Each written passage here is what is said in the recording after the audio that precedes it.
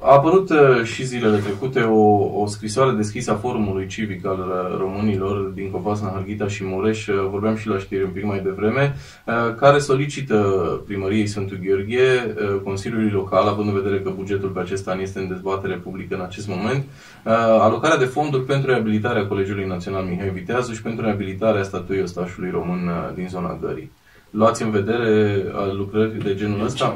Probabil cei de la Forumul Civic nu comunică cu cei de la cu Consilii, cu Mihai Viteazu, da. Cei de la Colegiul Național Mihai Viteazu, pentru că dacă ar comunica cu ei, atunci probabil că ar fi aflat că sunt niște demersuri făcute, documentații făcute, deci noi în anii următori dorim să facem o modernizare capitală, totală a tot ce înseamnă Colegiul Național de Viteazu, o parte din clădiri cu reabilitare termică, o parte reabilitare totală.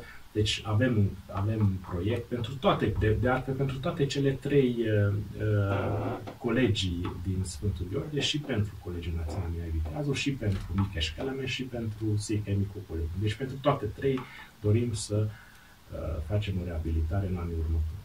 Statuia de la gară poate intra, nu, sunt cheltuieli foarte mari acolo, mă gândesc că, deci, deci cred eu pe o alocare... Trebuie să vedem care sunt costurile.